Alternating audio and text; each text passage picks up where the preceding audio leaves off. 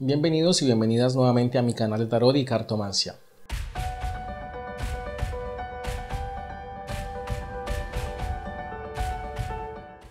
Este video es para la lectura de horóscopo del mes de septiembre del signo de Tauro. Vamos a comenzar esta lectura con una lectura general con el tarot, una lectura de cruz celta y después voy a hacer tres tiradas con el oráculo Lenormand, una para el amor, otra tirada para el dinero y también para el trabajo. Así que comencemos con esta tirada de tarot con una lectura general.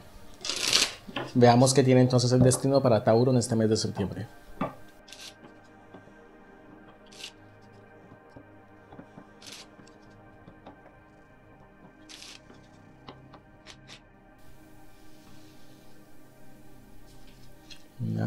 Dos, tres, cuatro, cinco, seis, siete, ocho,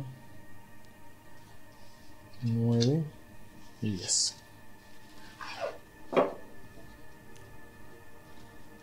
Veamos, Tauro, qué dicen las cartas para septiembre.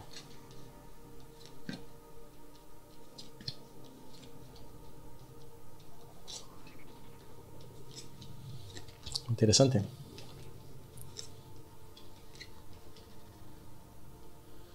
Bueno, Tauro, esto es una tirada bastante interesante. Es una tirada que nos está hablando de enamoramiento. Aquí tenemos esta combinación de cartas. La carta del Caballero de Copas y la carta del Siete de Copas. Bueno, la carta del Caballero de Copas es una carta que nos habla siempre del estado de enamoramiento. Las copas eh, representan el elemento de agua y representan los sentimientos. Y el Caballero de Copas particularmente es la carta que nos, eh, digamos, ejemplifica a estos caballeros de los cuentos de hadas que están dispuestos a hacer lo que sea por la persona enamorada. Entonces, esta es una carta de enamoramiento clásica del tarot. Entonces, aquí esta carta, como primera carta, nos está indicando que estás viviendo en este momento o vas a vivir en este mes de septiembre un estado de enamoramiento. Y eso viene reforzado con la carta del 7 de copas, que es una carta que nos habla de ilusiones. Entonces aquí la carta está cruzando, hay que tener mucho cuidado con eso. Porque la carta está cruzando, entonces aquí está diciendo que hay que tener entonces cierta precaución de no hacerse ilusiones o hacerse castillos en el aire antes de tiempo. Bueno, ¿y a qué se debe entonces esta situación? Aparece aquí como el origen de esta situación la carta del 10 de espadas invertida. La carta aparece invertida. Entonces, esta es una carta que nos muestra a esta persona que está acribillada. Entonces, es una carta que nos está hablando del pasado. Es una carta que nos habla de viejos dolores. Y es una carta que nos está diciendo que en el pasado ya habías dado, digamos por así decirlo, como que habías cerrado todas tus puertas en cuestiones amorosas, pero la carta cuando está invertida, las espadas empiezan a salir. Entonces esta es una carta que al estar invertida nos habla de esa recuperación, nos habla de esa limpieza, de ese dolor, de esas frustraciones, de esa angustia del pasado, de esa situación que te dejó, por así decirlo, como acribillado o acribillada. Entonces esta carta está indicando que por fin te das una nueva oportunidad. Entonces fíjate que aquí tenemos esta carta que es una carta negativa, pero estando así invertida va a ser mucho mejor es una carta que nos está indicando que salís entonces finalmente de esa, como de esa cueva, de, esa, de ese encierro en el que decías no me enamoro nunca más. Y aquí las cartas nos están hablando de otra cosa, están sorprendiendo las cartas. Entonces yo veo aquí que das una nueva oportunidad, abrís la puerta y entonces las cosas van a empezar a cambiar. Pero hay que tener cuidado con, esa, con esta carta del 7 que está indicando que hay la posibilidad de hacer castillos en el aire antes de tiempo. Hay que tener mucho cuidado. Bueno, ¿qué vemos en el pasado entonces? Vemos la carta del Caballero de Oros. Entonces yo veo que es una actitud que viene de tu parte bastante firme. Entonces como que ya eh, has eh, recapacitado, has estudiado esta situación del dolor y te has dado cuenta de que es necesario empezar a hacer esa limpieza, empezar a salir para darte nuevas oportunidades. Entonces esta carta del Caballero de Oros habla de esa determinación, de saber cuándo es el momento eh, necesario para cortar con ese dolor y darte nuevas oportunidades. Bueno, la carta que aparece arriba es la carta que nos está indicando que tienes cierto temor a repetir cosas del pasado. Entonces es una carta que nos habla de esa ruptura. Tenemos abajo la carta del 10 de espadas, que era la carta de ese dolor generado por esa eh, relación anterior. Y esta carta de aquí de la torre que está invertida nos está indicando que tienes miedo de terminar nuevamente en una situación en la cual te pueden volver a lastimar. Entonces yo veo en estas cartas que hay ese entusiasmo, pero que también está ese miedo a salir otra vez lastimado lastimada. Entonces esta carta nos está indicando que hay cierto temor. Entonces, ¿qué pasa después aquí con la carta del loco? La carta del loco nos está diciendo en este caso que vas a tratar de tomarte las cosas con calma, pero eso es como que Lo dudo muchísimo porque por lo que yo veo con estas dos cartas iniciales, yo veo que sos una persona como de entregarte mucho, inclusive antes de tiempo. Entonces, digamos que tu cabeza te puede decir esto, como tomarte las cosas ligeramente, no tomarte un compromiso tan serio, pero de por sí tu personalidad ya me está diciendo con estas copas que sos una persona muy romántica, una persona que va a caer fácilmente en la trama del amor. Entonces ahí esta carta me está diciendo que vas a tratar de tenerlas, perdón, vas a, tener, vas a tratar de tener eh, esa ligereza con la, con la nueva relación, con la nueva situación, pero vamos a ver qué pasa después. Después aparece aquí la carta de cómo te sentís, la carta del caballero. Hay muchos caballeros aquí en esta tirada, tres caballeros.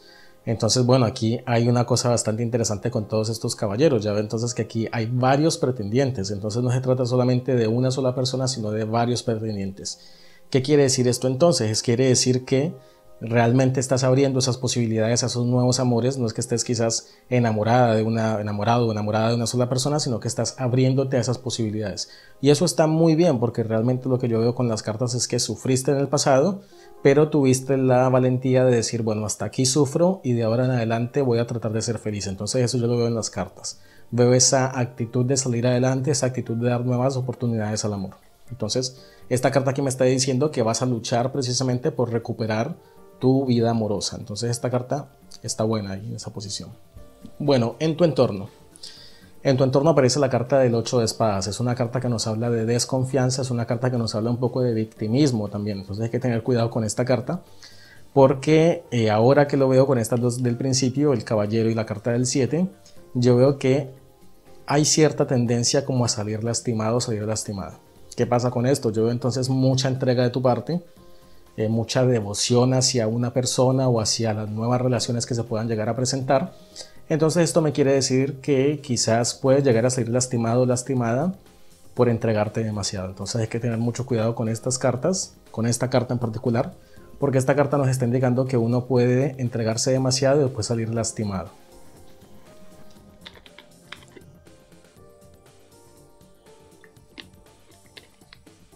Bueno, entonces, ¿qué pasa con esto? Yo veo que también, aparte de estos castillos en el aire que te estás construyendo, hay cierto temor, como ya he dicho antes con la carta de la carta de la torre. Ese temor a salir lastimado, ese temor a ser nuevamente víctima de las personas que te lastiman. Entonces esta carta de aquí nos está indicando que el miedo también va por el lado de que las cosas no funcionen. Entonces, estás abierta a nuevas personas, abierto o abierta a nuevas personas, pero hay un gran temor a que esto no funcione. Entonces yo por eso te digo desde el principio, cuando vi estas dos primeras cartas, que hay mucha entrega de tu parte, que sos una persona que se puede llegar a hacer ilusiones fácilmente. Entonces yo veo aquí que es importantísimo ir paso a paso, como dice la carta del Caballero de Oros, ir paso a paso y no apresurarse demasiado ni entregarse demasiado porque después de pronto las cosas no funcionan y entonces te quedas aquí como con la carta del 8 de espadas que está indicando que cuando no funcionan las cosas, entonces te venís para abajo, te caes de, de espaldas, por no decir otra cosa, te caes de espaldas porque realmente te estabas haciendo ilusiones de cosas que no eran. Entonces aquí las cartas me están diciendo que vas a conocer personas, pero que hay que tener mucho cuidado con hacerte esas ilusiones antes de tiempo. Hay que dejar que las cosas sucedan, pero no anticiparse, no pretender que porque conociste a alguien ya te, ya te vas a poner de novio de novia con esta persona, porque eso lo dirá el tiempo y obviamente todas las personas son diferentes. Entonces yo te digo aquí con estas cartas, mucho cuidado paso a paso antes de meterte de cabeza en una relación o de meterte de cabeza con una persona que quizás de pronto no te corresponda de la manera que estás esperando. Y terminamos aquí la tirada con la carta del colgado. La carta del colgado que apareció eh, invertida. Pasa cuando lo levanto se me, se me cambia. La carta del colgado apareció invertida, sí, entonces de pie el personaje. Entonces, ¿qué está diciendo esta carta? Esta carta es una carta que aparece antes de la carta de la muerte, es la carta número 12. Entonces, ¿qué pasa con esta carta? Esta carta está diciendo que es el momento de un renacimiento, pero que estás como en la puerta. Todavía no es ya, ya, ya el momento. Y es básicamente lo que yo veía con estas cartas, es darte esas oportunidades, una nueva relación, comenzar algo nuevo. La carta de la muerte sería esa carta de transformación pero todavía estás en la carta del colgado. Esta carta del colgado está diciendo que hay que tomarse entonces las cosas con calma, ver las cosas desde todos los ángulos, desde todas las perspectivas y no anticiparte a nuevas, nuevos capítulos o nuevas etapas en tu vida o en, o en tu historia amorosa. Nuevas etapas van a venir, pero quizás no es el momento indicado de empezar a escribir ese capítulo ahora mismo. Entonces te digo, estás en las puertas de un gran cambio importante en tus relaciones personales. Hay personas, veo en las cartas, hay personas que, que vas a conocer o personas que estás conociendo con quien puede llegar a suceder algo, pero la recomendación de las cartas es que no te anticipes antes de que las cosas realmente empiecen a marchar. Si conoces a alguien, tómalo con calma, paso a paso, el tiempo dirá si esta persona es para ti o no. Eh, pero entonces es importantísimo no anticiparse porque uno se hace ilusiones y después cuando no funciona, aparece entonces la carta de la víctima. Entonces, mucho cuidado con estas relaciones, con estas personas que estás conociendo. Todo con calma y las cosas van a poder manejarse mejor. Bueno, terminamos entonces esta parte de la tirada, que es la tirada general con tarot. Y ahora voy a levantar todas las cartas y vamos a comenzar con las lecturas con el oráculo Lenormand. Como había dicho antes, vamos a hacer una lectura que tiene que ver con el amor para este mes de septiembre, otra lectura para el trabajo y otra lectura para el dinero. Así que levanto esto y continuamos.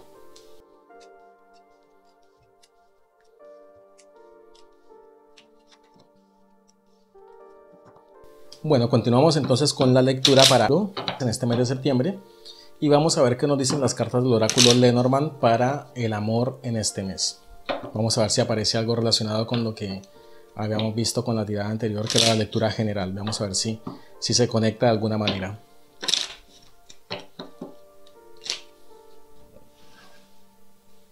Veamos cinco cartas.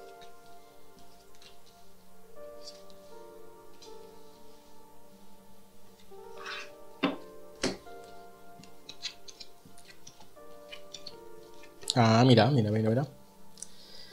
Bueno, en el amor, aquí yo veo cosas muy interesantes. Aparece la carta del jardín con el hombre. Esto me está diciendo entonces que hay varios pretendientes, varias personas que puedes llegar a conocer este mes. Entonces esto lo vamos a conectar con la tirada anterior. Nuevas personas que pueden aparecer, mucha actividad social, invitaciones a fiestas, invitaciones a reuniones, salidas, etcétera y aparece la carta del hombre. Entonces esta carta del hombre nos habla de una persona. Entonces esta persona puede ser obviamente un hombre, puede ser una mujer, dependiendo de quién está viendo el video en este momento. Pero entonces esta carta nos habla de una persona clave que aparece en este contexto amoroso. Entonces aparece realmente una persona y casualmente la carta que aparece en el centro es la carta del corazón. Entonces aquí tenemos el hombre con el corazón, nos está indicando que aparece un pretendiente. Así que es clarísimo en esta tirada aparece un pretendiente y aparece otra cosa aquí bastante interesante, la carta del látigo. La carta del látigo nos está indicando entonces que con esta persona habrá, habrá por supuesto intimidad. Es una carta que está relacionada con el sexo, entonces yo veo aquí que hay nuevos contactos, hay nuevas personas con quien vas a interactuar. Y hay una persona que puede ser esta persona que aparece aquí en la tirada, en particular con, que vas, con quien vas a tener una gran atracción, eh, tanto eh, como persona como física porque tenemos el corazón y tenemos el látigo. Entonces yo veo aquí que hay una, un fuerte chispazo, por así decirlo. Vemos también al final la carta de los pájaros. La carta de los pájaros nos habla entonces de comunicaciones. Entonces yo veo que con esta persona vas a pegar mucha onda. Yo veo aquí con las cartas son muy positivas. Vas a pegar mucha onda con esta persona.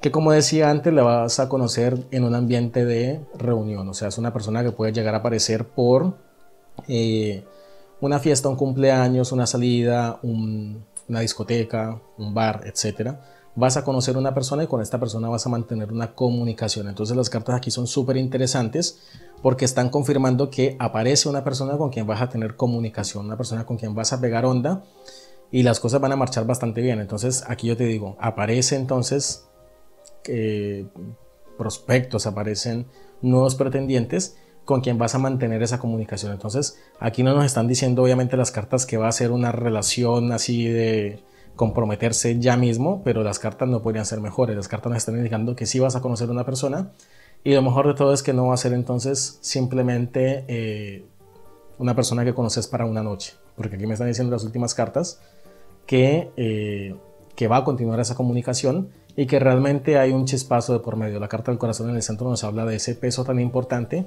de los sentimientos entre estas dos personas, entre tú y esa otra persona. Entonces yo te digo que para este mes es súper clave que eh, salgas, sobre todo porque aquí estamos viendo la carta del, del, jardín, salir, tener vida social y de esta vida social vas a conocer a una persona muy interesante. Continuemos con la lectura del Lenormand para Tauro con respecto al trabajo. Veamos cómo dicen las cartas para el trabajo.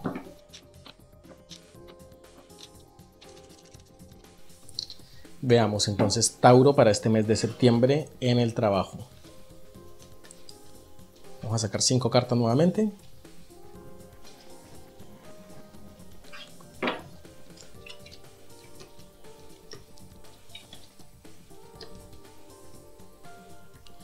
Bueno, Tauro, con respecto al trabajo, lo que veo con estas cartas es que este mes quizás te van a apretar un poquito con el trabajo. Aparece la carta del látigo. Entonces no lo veo realmente como que sea una carta que nos vaya a traer, digamos, eh, discusiones o problemas, pero sí veo que estas cartas, esta carta en particular me está hablando como de presión, un poco de presión con respecto a cosas que tienes que entregar en el trabajo, a informes, a actividades, a objetivos que tienes que cumplir en el trabajo. Entonces esta es una carta que nos habla de mucha actividad. La carta que continúa es una carta muy positiva, la carta de la cigüeña, que nos está indicando que estas eh, tensiones o estas situaciones son liberadas y estas, eh, estos, requisitos, estos requisitos o estos requerimientos por parte de tu empleador van a ser realmente alcanzados. La carta de la cigüeña es una carta muy positiva que está indicando que vas a alcanzar esas metas, esos logros de esos objetivos en el trabajo. Después lo que veo en la tirada es algo muy positivo porque veo que inclusive va a llegar en este trabajo eh, algún tipo como de bonificación, algún tipo de dinero extra que te va a hacer como, te va a hacer como un reconocimiento de parte de tu empleador por tu buen desempeño. Yo veo aquí en estas cartas de que se aprieta un poquito para eh, septiembre, pero que vas a lograr un gran desempeño con ese cumplimiento de esos objetivos.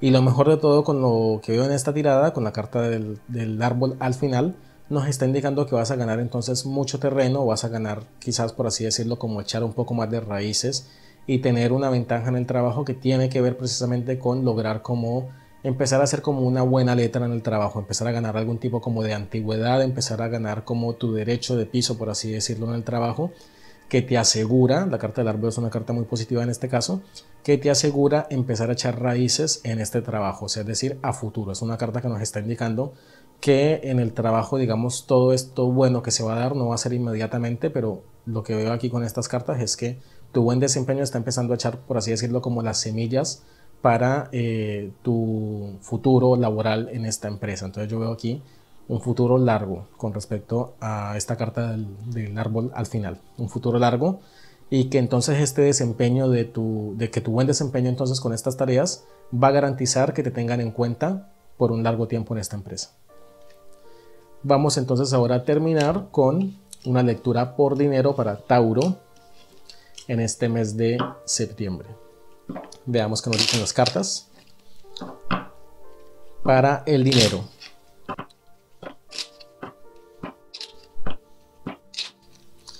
Bueno, veamos Tauro en mes de septiembre, dinero. Cinco cartas nuevamente.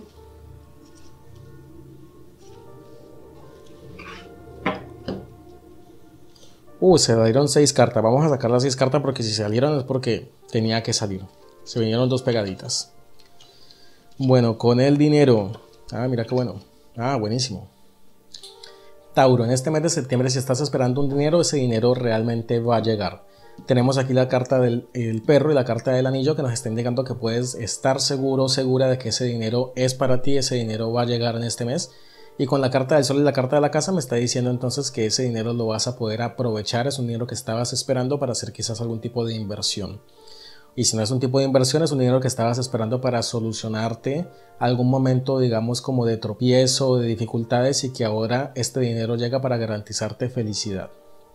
Terminamos la tirada con la carta del dinero y la carta de la luna. Entonces, aquí lo que yo veo es que este dinero va a ser un dinero, quizás por lo que yo veo con estas cartas, un dinero que estás esperando hace mucho tiempo. Puede tratarse de un juicio, puede tratarse quizás, quizás de una herencia también por esta combinación de cartas de, de la casa con el lirio una herencia o un dinero que estabas esperando producto quizás de un juicio porque es un dinero que venís esperando durante algún tiempo y que finalmente este mes va a llegar. Y la carta de la luna es una carta que nos está garantizando, también es una carta muy positiva que está indicando que este dinero lo vas a saber invertir, es un dinero que estabas esperando y que te va a traer total alegría porque realmente te va a servir para solucionar muchas cosas en tu vida eh, financiera. Bueno, terminamos esta lectura para Tauro en el mes de septiembre. Si sientes que esta tirada quizás no dio en el punto con lo que estás viviendo en este momento, te recuerdo que es una tirada general, por supuesto, es una tirada que puede o no eh, dar en el clavo con lo que te está pasando en este mes. En ese caso te recomiendo que complementes esta lectura con la lectura de tu ascendente, que también vas a encontrar obviamente en este canal. Muchas gracias por la atención y nos vemos en el siguiente video. Hasta la próxima. Chao. Para consultas personalizadas puedes comunicarte conmigo a través de las redes sociales Instagram y Facebook. Encuéntrame como arroba tarotcava. Suscríbete a mi canal, comenta y comparte con tus amigos y amigas. Hasta la próxima, chao.